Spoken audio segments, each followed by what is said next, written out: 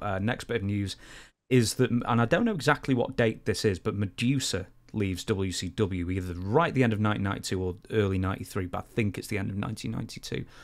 Do you know why? Because I don't. I, I don't. Those are the types of things that happened. You know, if you look back over your career and you're thinking like, okay, these you know, really great talents are there, then poof, they're gone. They, they, mm. they just disappear. It happens so often that like it was sort of just like the uh the milk carton week. Like who's on the milk carton this week? Like who's no here not here anymore.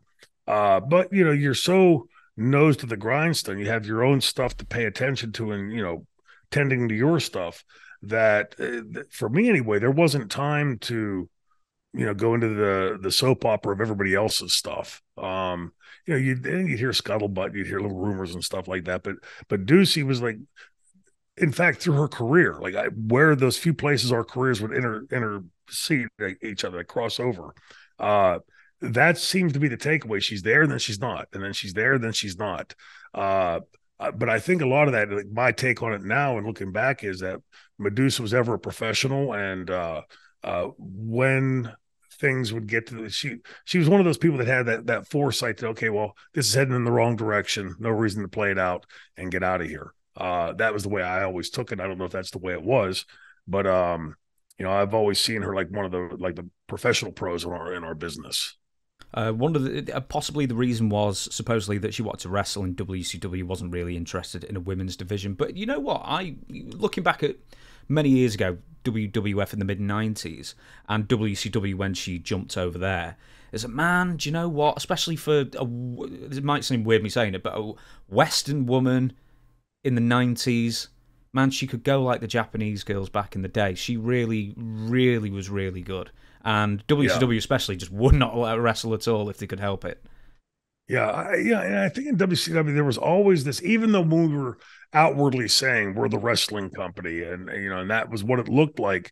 There was always this nipping around the periphery of trying to mimic in some ways the sports entertainment stuff. And I always thought it was a, just a, an absolute mistake as a business person, whether it's you know selling hot dogs on the street corner, professional wrestling, the last thing you want to do is be Johnny come lately to the hot thing. You want to be the guy that's creating the next hot thing. And uh, uh as with the last episode we did on the on the uh, the one uh, uh pay per view, and now uh, today the Clash, uh, when I'm watching that, I'm thinking to myself, "There's a, these are good matches. You know, the, the, the talent's really good in the ring, and you, you know it's." they to me WCW made its fatal mistake.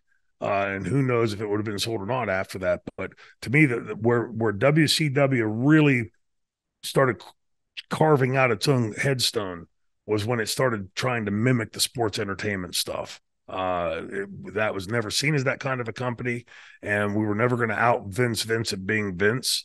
Uh, let him be that. Let's be this over here, and even if there's a little bit less, eh, you know, rating or money than than them over there, uh, I would dare say Aros Prado was a lot cheaper company to run at that time, comparative. Uh, so find the demographic that you can own. Uh, their money's as green as everybody else's. There may be less of them, but you're not going to steal away many of the other companies' uh, kids, like in WWF's case, the tweeners, uh, and in WCW's case, the older people that have grown up watching the NWA and all that, th- those are, you know, it's like trying to get people to switch cigarette brands, right? They, they're going to stick with what they are. And the same thing with wrestling. Wrestling fans, the same thing. And, and, when you digress from that, when you move away from what it is you you intended originally for your promotion to be, that's when I think you start losing fans.